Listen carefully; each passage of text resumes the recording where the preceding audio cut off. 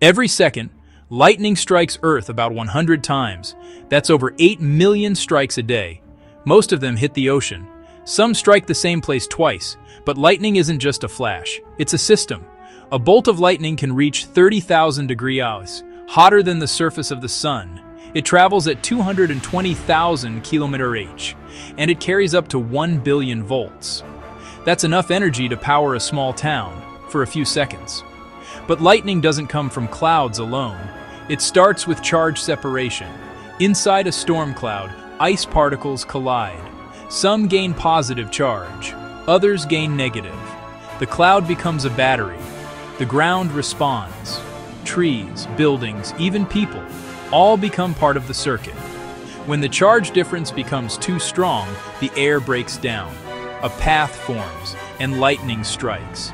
There are different types, cloud to ground, in cloud, cloud to cloud, ground to cloud. The most dangerous, positive lightning.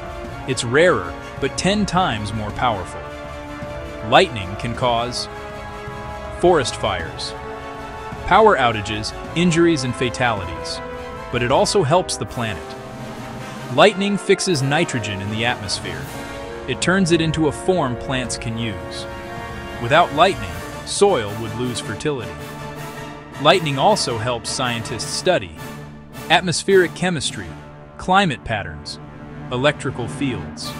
Some animals can sense lightning before it strikes.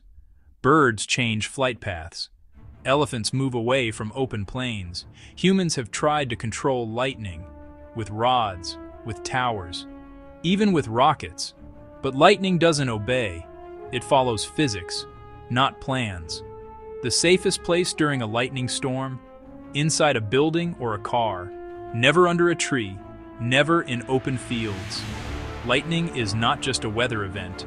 It's a reminder that nature moves fast, that energy is everywhere, and that even in silence, the sky is charging. The Nature Circuit presents Lightning, nature's fastest fire. Because every bolt is a system, and every system has a story.